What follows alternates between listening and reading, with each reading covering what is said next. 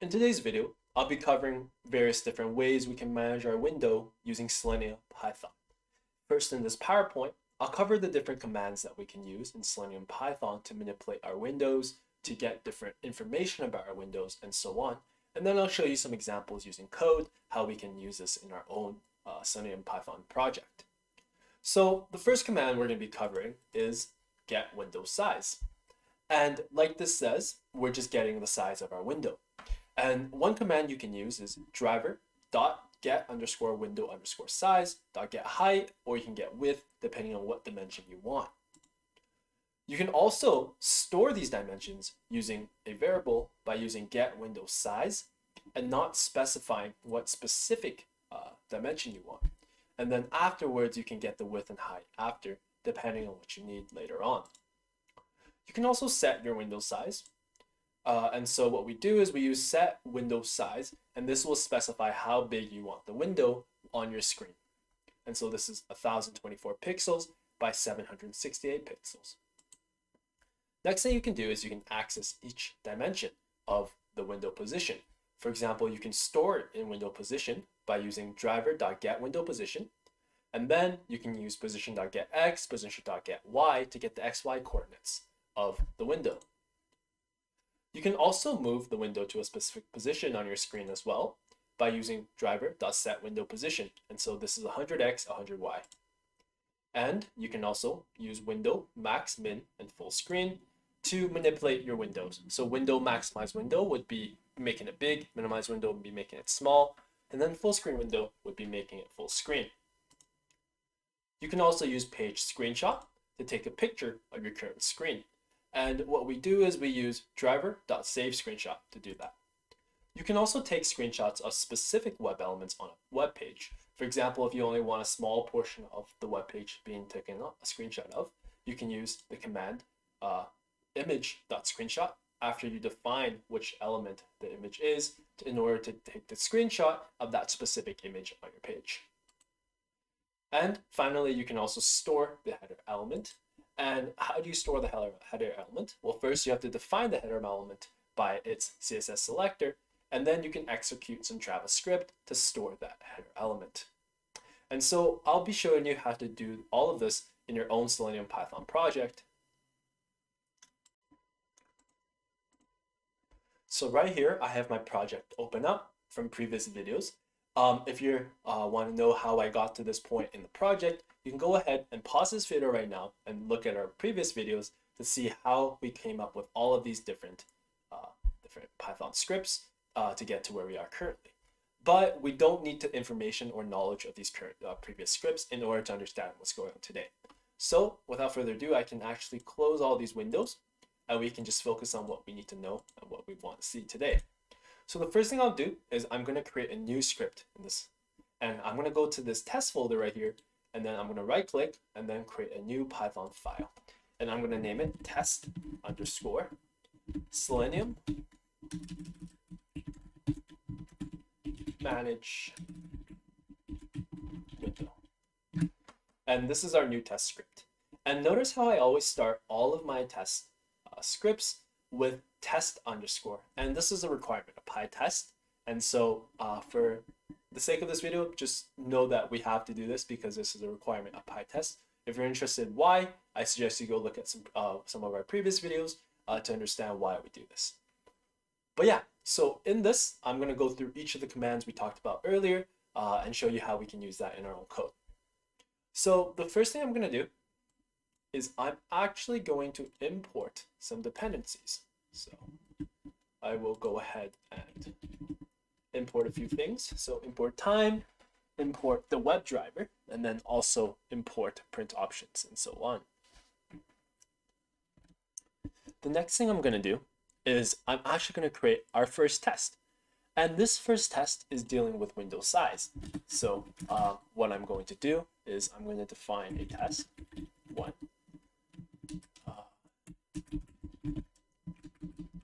test one. And what I'm going to be passing into test one is Chrome. And for Chrome, um, if you're not familiar with what Chrome is, uh, Chrome is basically the web browser that we'll be using uh, to start a WebDriver. So it's not here currently, but if we look at here, for example, uh, if we look here, so this is, we used Firefox here, but if we look at another example, maybe this one, this is Edge. So let me look at this example. This is Firefox. If I look at this example, this one is this conftest. So if I go to my conftest right here, I see that I've already specified what Chrome is. And Chrome is basically when we start a WebDriver using the Chrome WebDriver. And I have the tag pytest.fixture and it's in the file conftest. And what this allows you to do when you use the pytest uh, package is it allows you to pass this function as an argument into other uh, into other different functions within the same project. And so if I go back to my Selenium manage window here, I can just pass Chrome directly into this function. And so what I'm going to do is I'm going to print this first test by passing Chrome. And I'm actually going to be telling it to do a few things. So the first thing I'm going to do is I'm going to tell it to go to this web page, and then I'm going to tell it to sleep for three seconds, and then I'm going to define the width equal to chrome.get shape underscore window size, and then after that I'm going to say dot get, and I'm going to tell it to get the width, and then I'm going to say that the height is equal to chrome.get underscore window size again uh, but this time, this is equal to get dot height.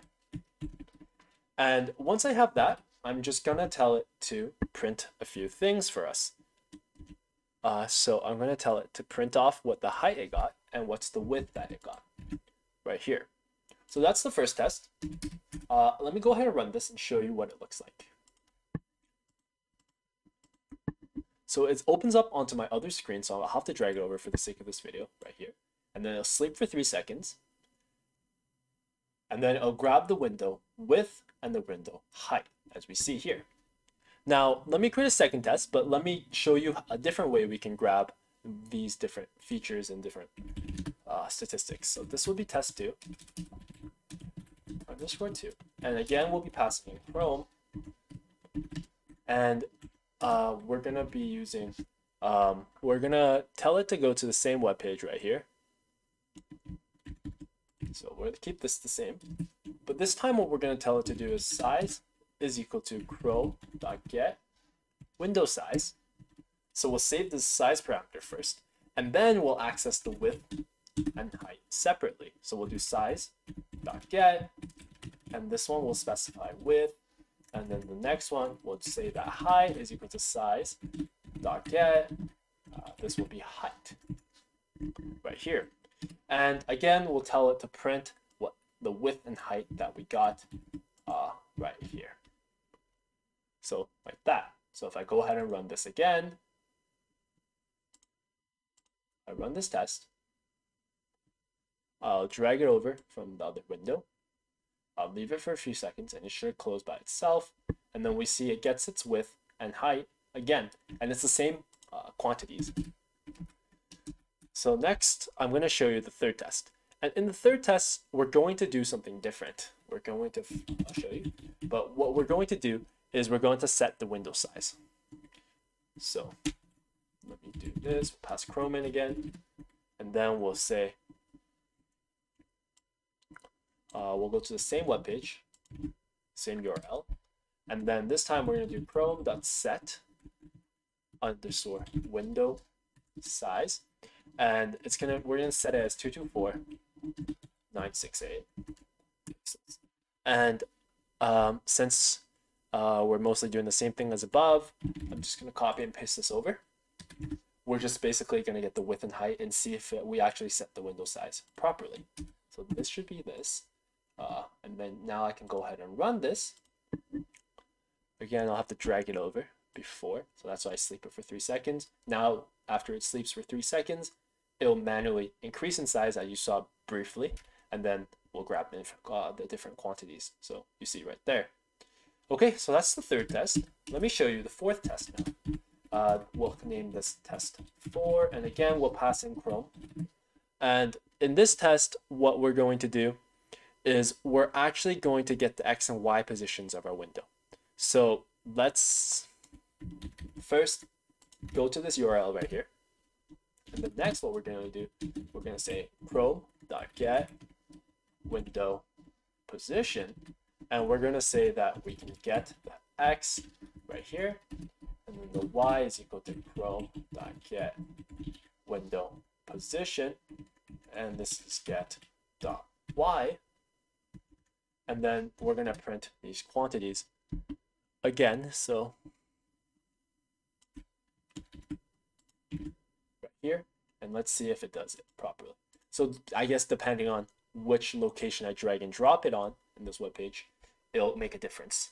So if I drag it there, this is what it, the difference is. So this is our x and y quantities. So let me do this again, but this time instead, uh, what I'm going to do is I'm going to get the positions using a different method. So again, I'll name it test five, name it Chrome, pass in Chrome. Uh, and then this time, since it's very similar to what we did previously, I'm just going to copy and paste this entire code that I've written already over. And so instead we save it into position and then we get it separately afterwards. So go ahead and run this. Drag it over. Now it'll basically grab the quantity. See, I dragged it to a different location here. So the different, so the position should be different again. So yeah, the position is different as we see. Okay, so now let's move on to test six. Uh, so I'll name this test six. Passing Chrome. And we'll do chrome.get. Uh, well, actually, I will do this. I'll tell it to go to this URL again. But this time what I'm going to do is chrome dot set window position. So I'll set the window position to minus 600, minus 200, and then I'll tell it to sleep for two seconds. And then I will basically, using the commands to get the position of the window, I will get the position of the window using these commands right here. Let me run this again and see what happens.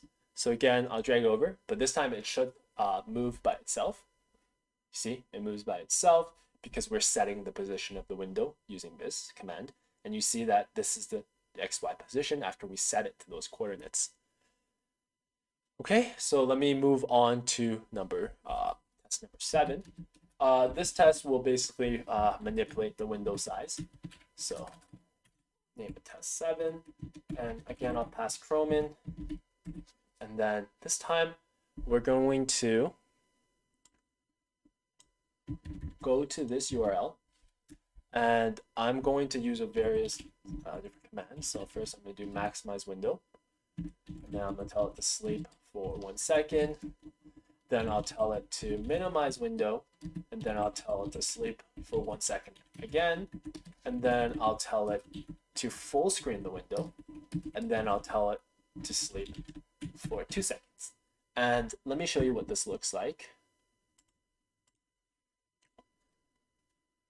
So I'll drag it over. So the first thing it should do is maximize the window. As we see it maximizes it, then it minimizes it, and now it's full screening it. So that's our second, uh, seventh test. The next thing I'll show you what we can do is some different things we can do for screenshotting. So let's just show you a few things. So I will paste this over here. So in this one, we're basically going to this URL, but we're just using .save screenshot in order to save a screenshot to our file location. And if I take a picture, uh, let me fix this file location. So this should be Python tutorial. Tutorial one.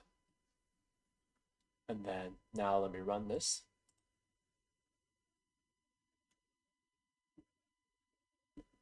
I drag this over. It should take a screenshot. Takes a screenshot, and then it says it's done, and we see that it's saved right here. Open the screenshot. This is what it looks like. The next thing I can do is we can take a screenshot of a specific element on our web page. So again, let me call it def test take element uh, element screenshot. And again, I'm passing my Chrome in. And do Chrome dot. Actually, I'll just paste this over to save some time.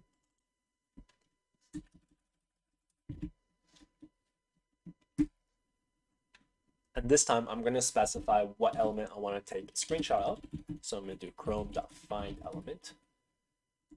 And I'm actually just going to copy over this information so I don't mess up typing it.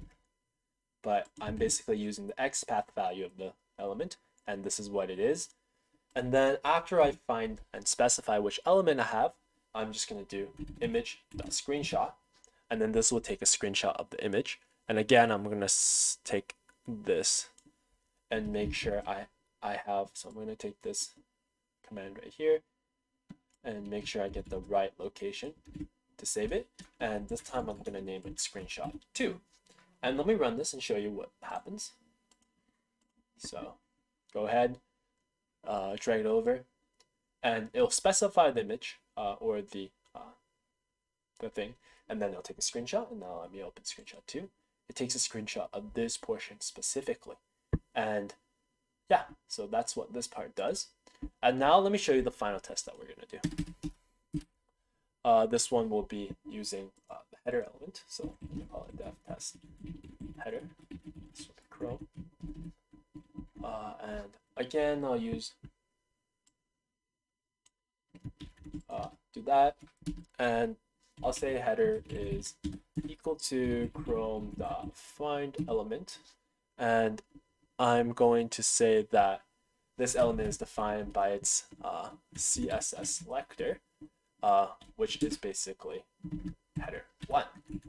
And uh, what I'll do is I'll tell it to basically print this header using the JavaScript command. So this will be execute, execute script right here, and this will be uh, I'll say, let's do return arguments zero uh, dot inner text. So that's the command we're using, and then let's say header. So go ahead and run this. I can drag this over. It'll basically grab the header from this web page um, so, so it says no such element. Uh, it'll keep running. Uh, it's still collecting the element. Uh, and afterwards it says the test has failed. So let me see why it failed. Uh, find element. Okay, so uh, actually I specified the wrong URL location because on our web page, this specific header that we were looking for is at this URL. So that was my bad. Let me set that there and let me try to run this again. Again, drag this over. We see that it has the header right here now and it passes the header, web elements and locators. And yeah, so I've showed you uh, various different different commands we can use for managing your windows, um, if you found this video helpful, please give this video a like and subscribe to our channel. And yeah, thank you for listening. We look forward to seeing you next time.